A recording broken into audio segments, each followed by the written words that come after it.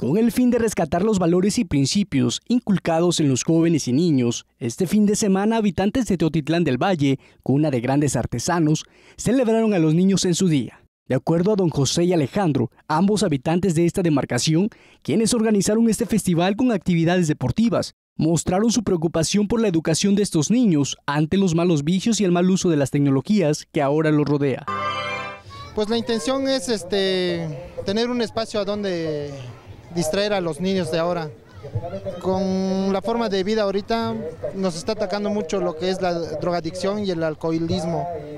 Más, y más la tecnología que no lo estamos sabiendo aprovechar como realmente debe de ser.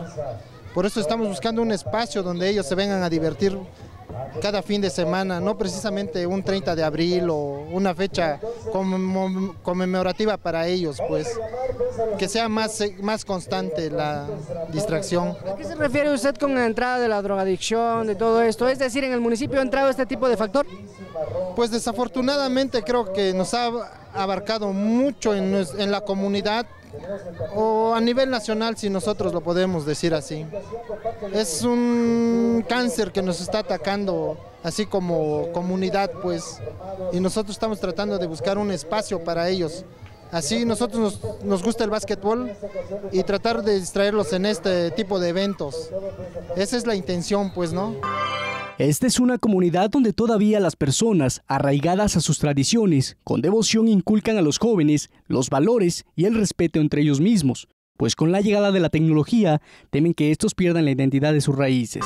Aquí la idea de este proyecto es un proyecto que queremos eh, contribuir con la comunidad, eh, rescatar lo que es el deporte, rescatar a los niños. Eh, vemos que hay mucha Uh, mucha gente que se ha, se ha malinterpretado lo que es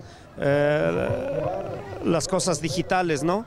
Entonces nosotros ahorita tratamos de rescatar a los niños y que tengan otra nueva ideología para hacer deporte, que tengan otra nueva ideología para, para poder desarrollarse y que conserven parte de lo que es nuestras costumbres también.